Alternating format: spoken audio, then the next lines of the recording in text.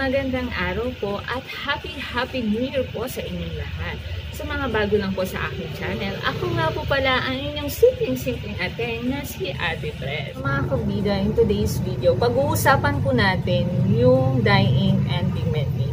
So before po talaga, ang ginagamit po naming ink dito sa aming store ay dye ink. Ano, yun nga lang simula nung um, nasira po yung printer namin. Lalaman namin na meron palang pigment ink sa ink. Meron nga po kaming t-shirt printing. Use kasi ng t-shirt printing is pigment ink. Alam po talaga namin kung pwede po ba yung pigment ink eh gamitin sa pagpiprint ng pictures and documents.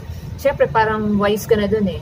Kung bibili ka pa ng dye ink sa pigment ink, magkaiba po kasi yung printer niya. So, hindi pwede na yung dye ink, papalitan mo ng pigment ink na lang, parang palitan sila. Hindi. Kung maging, kung sa kang business-minded, pa sa mayu-use mo lagi. Yung pigment ink, pwede po siyang pang-print sa pictures and documents. Though sabihin mo na yung dye ink is mas mura, compare mo sa pigment ink. Siyempre dito, sa amin, sa may pinagsama, yun na lang din po yung ginamit namin. Mga kabida, yung mga pigment ink na ginagamit po namin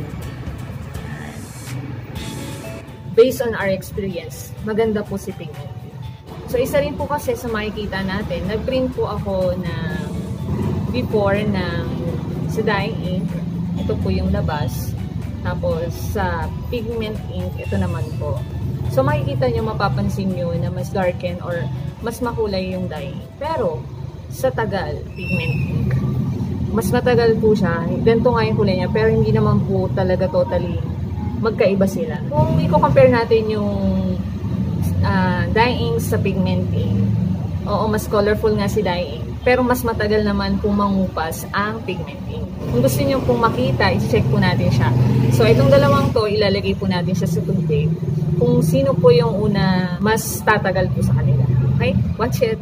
So, ito na mga kabida. Naghanda po ko ng tubig sa plato. Ito nga po yung mga sample po natin ng print. Ito po yung sa dye ink. Yan yung makulay. Yung medyo makulay. Tapos ito po yung sa sa pigment ink. Yan. Sa glossy ko na nga po siya nilagay eh. Ito naman po nasa medyo magaspang pa to. So, dapat ito yung mas matagal, di ba? Parehas po natin siyang ilulublob sa tubig. So, yan. Diba? Ito nga po yung sa pigment and sa, sa dye ink. So, parehas po natin siyang ilublob sa tubig. Yan.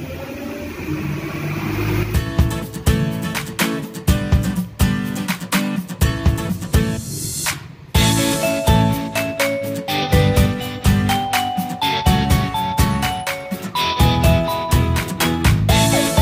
sa dyeing, tignan nyo po, nang inano ko na siya, and po yan, nag-fade. Yan, makikita nyo, unti-unti siyang nag-fade sa Ayan, unti-unti po siyang nagpipage sa tubig. Ayan. Po, na po natin yung sa sa dye ink. Ayan. Papansin nyo. Ayan. So, ito po yung sa pigment ink. Babad natin siya. Ayan. So, alisin na po natin. So, ayan. Yan po yung sa pigment ink. So, 'di ba? Ang layo po niya.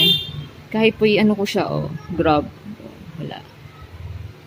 Although dito naman sa sa dye ink, and po, eh, naging ganyan na po siya. So, kumakalat po yung ink niya.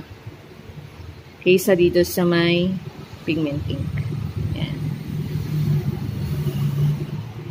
Mga kabida, nakita niyo na po yung sample no video na ginawa ko sa dye ink sa sa pigment ink. Uh, maganda na rin po kasi na pigment ink yung ibigay natin sa customer kasi po andun po yung quality.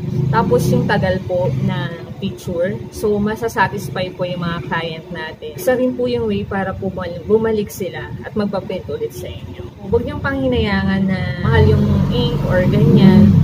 Uh, Siyempre, naging wise ka din dun eh. Kasi isa na lang printer mo, di ba?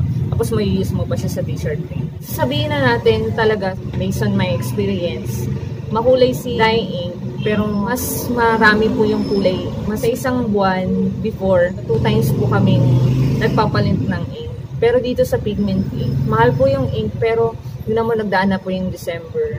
Uh, marami po kaming pinrint na invitations, photos. Hindi pa po siya naubos. Hindi isang bote nila, meron pa. So, mas nakatipid ka. Nakatipid ka na sa printer, nakatipid ka din sa sa ink kahit mahal po siya. So, pigment ink and pigment printer na lang po yung ginagamit namin. Para po sa mga photos namin, document print. Saka yung quality, saka yung tagal, nandyan na. So, overall, sa mga bago lang, gantong business, sa inyo pa rin po kung ano po yung gusto nyong printer na bilhin at kung anong ink yung gusto niyo sa kanila. So, syempre, sinabi ko lang po sa inyo kung saan po kayo mas nakatipid kung nakatipid po ba kayo sa dyeing ink kasi or sa pigment ink pero dun sa tagal, saan po kayo, di ba? So mga kabida, maraming salamat po sa pagtangkilik sa aking channel. Sana po may natutunan po kayo sa akin. Marami pa po akong i-upload na mga videos based po sa mga na-experience ko, na-explore ko dito sa aming meeting store. So mga kabida, kung nagustuhan niyo po ang videos na to, don't forget to like, share, and subscribe to my channel. And don't forget to click the notification bell para po ma-notify po kayo sa mga videos na i-upload ko. Sana po marami po kayong natutunan sa akin. Mga kabida, hanggang dito na lang po. Salamat po. Happy New Year sa inyong lahat. God bless. Bye-bye po.